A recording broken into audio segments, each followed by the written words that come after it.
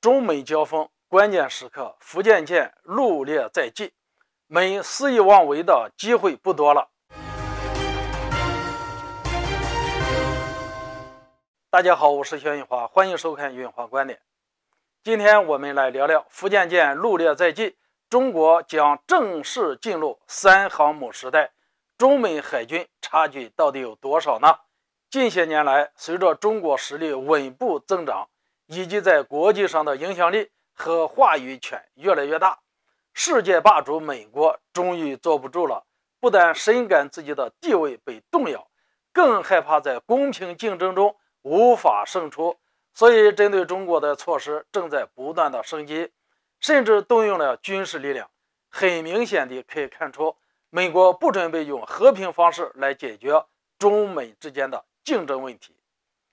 特别是在进入2022年之后，美国不但在台海问题上指手画脚，更是频繁的出动海上力量闯入中国海域，多次越过了中国的红线。也让中美两国的关系进入到了冰点。在这种关键时刻，中国却传来了好消息。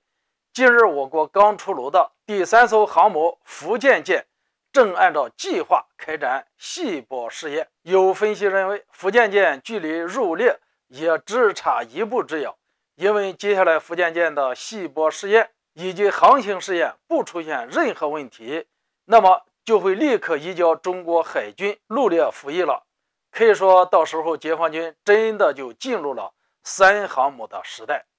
而且根据美国媒体以及美专家猜测，福建舰航母配套的舰载机和预警机都已经确定，而且正在大力的进行测试和完善。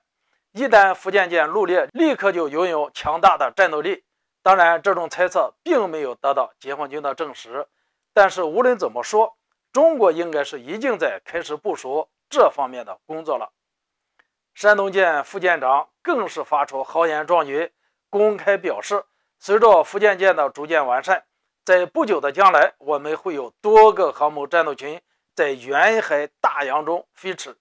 解放军捍卫国家主权的手段和措施也会越来越强大。众所周知，这些年来，随着中国经济快速增长，中国在国防建设上的投入也越来越大，特别是在海军力量上，不但万吨驱逐舰如同下饺子般的速度出炉，不同种类的战舰也在陆火陆土的建造中，就连美国海军中将都不得不承认，中国海军的规模已经是全球第一。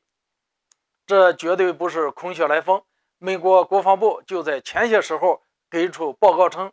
中国海军拥有军舰的数量已经超过了三百五十艘，而且这个数量还不包括一些巡逻艇以及携带反舰导弹的作战平台。再加上解放军在军演的时候展现出强大的精神面貌和顽强的战斗意志，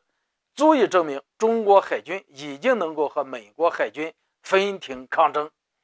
美国的吹嘘我们听听也就行了。中美海军之间的差距还是有不小的，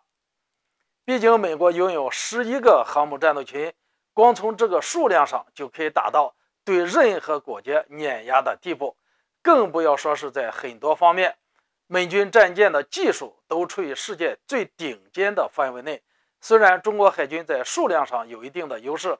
但是质量上还是有着要追赶的空间。所以现在还不是我们能够骄傲自满的时候。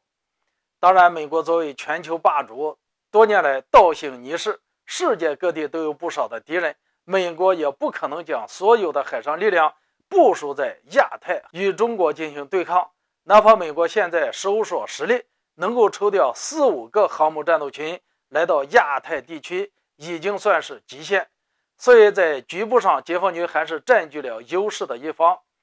而且据说解放军的第四艘航母也正在建造中，看来留给美国肆意妄为的时间和机会不多了。今天这个话题就聊到这里，欢迎大家留言交流，下次见。